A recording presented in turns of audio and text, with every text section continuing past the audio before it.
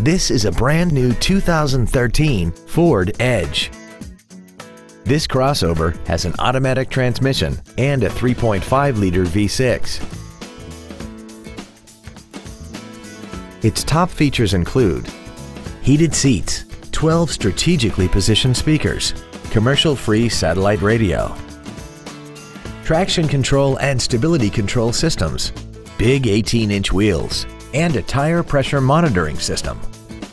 The following features are also included. Memory settings for the driver's seat's positions so you can recall your favorite position with the push of one button.